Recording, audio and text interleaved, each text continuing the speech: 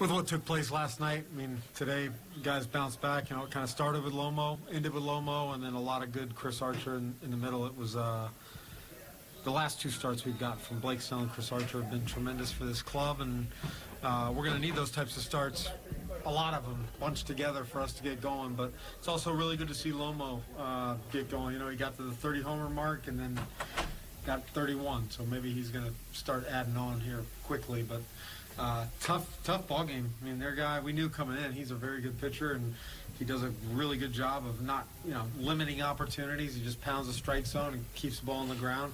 Took a little bit for our guys to adjust, but by that time it was already in the fifth or sixth inning, and uh, obviously we only had one run on the board, but uh, we'll take it. It was a good win. You bring up 31 home runs for Logan Morrison. What can you say that he's done this season for your team's offense? Quite a bit. I mean, I, you know, I, I think you know, for three years, well, this being my third year, we've always talked about a guy kind of to situate behind Longo and provide that product protection, and I, and I think he's done that. I know he's done that. I mean, it's uh, you know, you got to you got to really worry about not only Evan.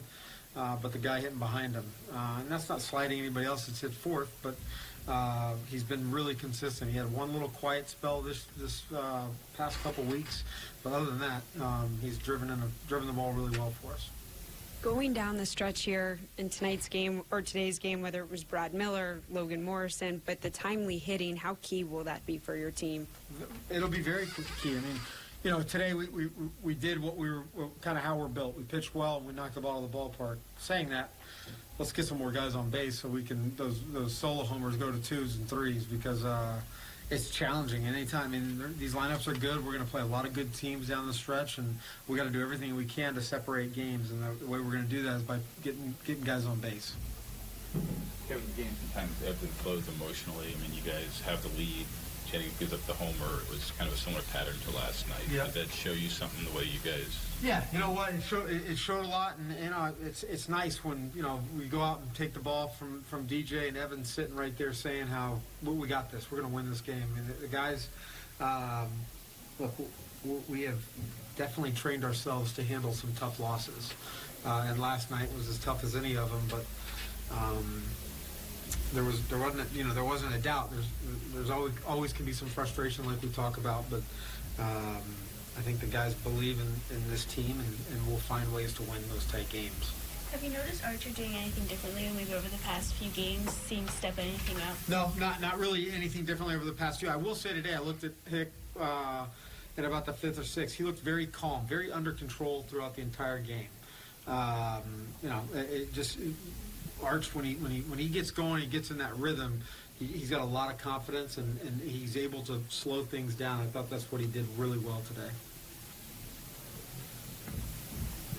Lomo went through that kind of quiet stretch. You, I know last year you talked about how he didn't let that get him down. Did you no. kind of see signs of that again this year?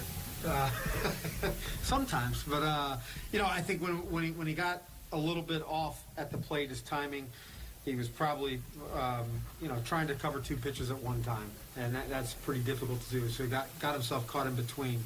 Uh, but I think Lomo's success also, you know, energized him to keep keep that consistency. And when it wasn't there, um, it was a struggle for him. But it's nice to see him get back in it and, and, and feel good over the last couple games, couple week or so. And the rest of the bullpen did a pretty good job picking up after Jennings. Yeah, and Cishek Romo, um, those two additions have been huge for us. And, you know, the confidence that we have in them, the confidence their teammates have in them when they're on the mound. They're going to give you strikes, uh, competitive pitches. They're going to make guys put the ball in play. When they need those big strikeouts, they have the ability to, to reach back and get it.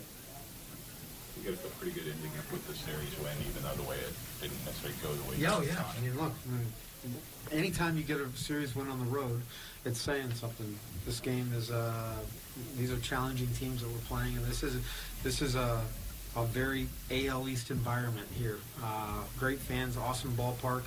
The, you know, they support their club. We came in and found a way to win two games.